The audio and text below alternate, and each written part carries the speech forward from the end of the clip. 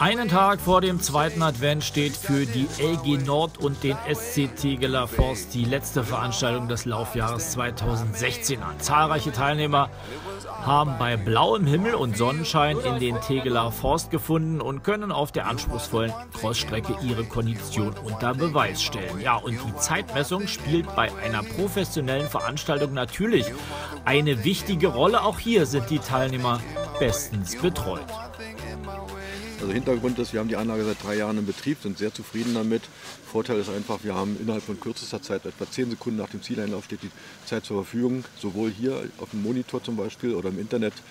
Ähm, da ist wenig zu korrigieren. Ja, wesentlich mehr zu korrigieren gibt es für die Läuferinnen und Läufer. Diese können auf verschiedenen langen Strecken an den Start gehen, angefangen beim Schnupperlauf über 6,8 Kilometer bis hin zum großen Hauptlauf, bei dem sich die Teilnehmer an den steilen Hängen gemäß dem Namen des Laufevents zersägen können. Immer starke Läufer im Verein, auch schon vor 50 Jahren. Der Lauf ist nämlich schon sehr alt. Und da waren einige Langstreckenläufer dabei, die sich unter, untereinander Konkurrenz gemacht haben und zersägt haben durch das Laufen, durch die Anstrengung. Daher kommt der Begriff zersägen. Mhm. Beim, während des Laufens durch die Berge, durch die, durch die Strecke.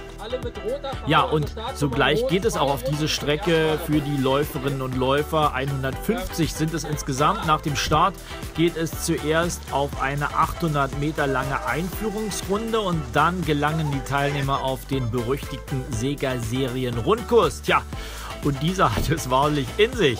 Denn hier geht es nicht nur über Stock und Stein, nein, hier müssen gleich ganze Steilhänge von den tapferen Läufern bewältigt werden. Und einer, ja, der geht gleich mal richtig ab.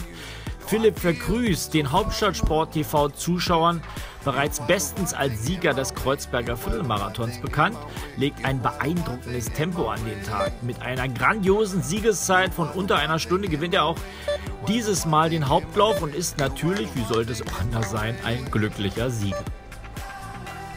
Äh, und habe von Anfang an richtig Druck gemacht. Äh, ich wollte irgendwo gute Zeit laufen. Aber dann äh, wird natürlich hart dritte, vierte Runde. Und dann fünfte und sechste, okay, dann, dann geht das relativ schnell. Aber äh, harte Strecke. Eine harte Strecke ist es allemal und so muss auch unser Sieger zugeben, dass die Strecke ihren Namen auch wirklich verdient hat. Denn hier zersägt es selbst die Besten. Diese zwei sehr steile ähm, oder sehr hügelig ist vielleicht nicht, aber er gibt auch eine Strecke, wo das ab und ab geht und da muss man Rhythmus finden und äh, ja, das, das, das, das ist dann vielleicht noch mehr anstrengend dann diese, okay, 30 Sekunden alles geben und baff, bis, bis oben und dann rutschen wir runter.